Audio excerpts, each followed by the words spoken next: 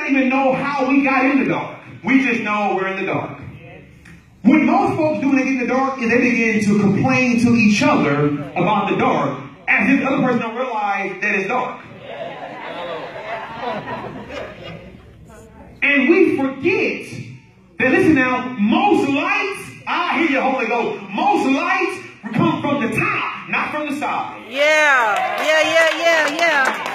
So, if that can be fact, why am I talking to you about a light up there? Did you hear what I just said? If the light comes from above me, I'll be talking up here, not around here. If I spend my time in the horizontal, I forget the light comes from the vertical. Yeah. Pastor. Ah, thank you, Holy Ghost. We're in the dark together.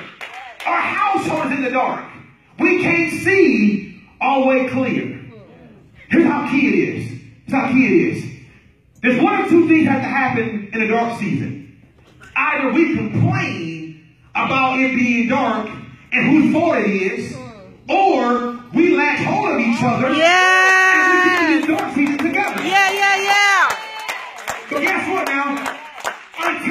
Agree what to do in the dark, we can't get through this situation. The Bible says in Amos 3 and 3, how can two walk together? Let's they agree. Yeah. Yeah. There's no need in arguing about how dark it is. It's obvious that it's dark. Jesus. And complaining about it don't make it no lighter. But when we say to each other, listen, it's dark out there. You agree? Yes, I agree. Okay, we're going to get out of here. We begin to talk about a strategy. But guess what? No man-made strategy can move a God. Yeah. So, if I'm going to stand still, she going to have to stand still. What you're not going to do is lead me into disobedience. Jesus. So that's not I wanted for this darkness to last longer than it need to last. We're going to stand still. If God says move, if she's holding on to me, I need her to trust that I heard God say move. Yeah. I don't need Job's wife in my dark season. Amen. Now listen, now, you can't agree with me when you can see and doubt me in the dark. Jesus. In some marriages, that's the problem. When it gets dark and it gets bad, now listen, now you want to question, can I hear from God?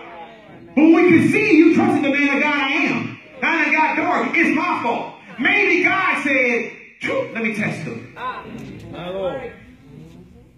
Because you can't trust your money if you can't see it. Mm, my Lord.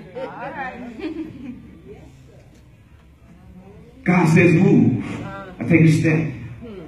What I don't need is for her pulling me back from where God is saying go. I need her to be stepping with me. Here is why. Because if I'm obeying God and she latches on to me, when the light gets turned back on, hit the light for me, brother. Light get turned back on, guess what? We both enter to the same new place. Yes. And I prefer light over darkness. But I'm encouraged in knowing that God can still work things out when I can't see it being worked out. Yeah, Do you realize? Do you realize that there are some things God is doing beneath the surface? And when you want to see the results, it's already been worked out beneath the scene. I call it the subway blessing. Yeah. Subway blessing. In some cities like New York, they have subways they, tra- they travel on.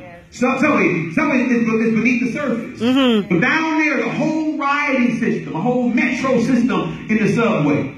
You don't go down there and question how I got down there. You just get on and you go for the ride. Right. Because when you get down there, you realize before I got here, it was already here. And when I get off the ride, it'll still be here. It's not like I gotta figure out how I got here. I wish you can get it from here to here.